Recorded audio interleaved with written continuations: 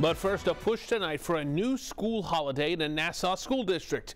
Our Tama Ponton is live in Hewlett tonight, where a school board meeting just wrapped up. And Tama, there was strong reaction to this. That's right, Rich. And this is an ongoing issue here. As a matter of fact, back in 2018, the board decided not to add the Muslim holidays of Eid to the school calendar.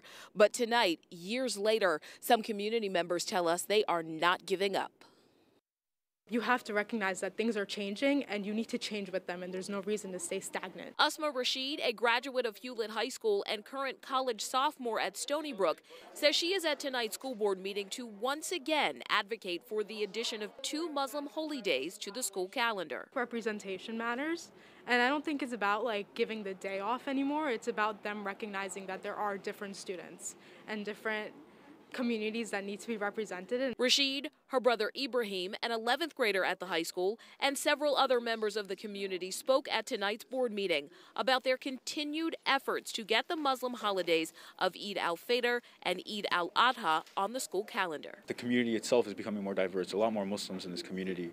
And just it's clear evidence is there and they're just not willing to accept it. But some school board members say there are reasons they cannot add Eid to the calendar the law is written in such that we are not in a position to add a religious holiday to our calendar. Adding Eid in Hewlett would be, in my opinion, this is just me speaking, would be a violation of, of constitutional law, and I believe would be subjected to a challenge. And this is not the first time the board has been asked to add the Muslim holidays to the calendar.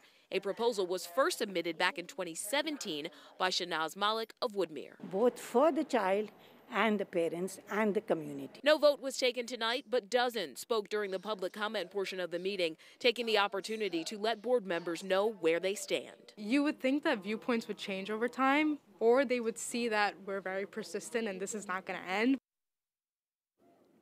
It's an ongoing debate, Tama. So what happens next now? Is the board going to vote again on this to add the holidays or not?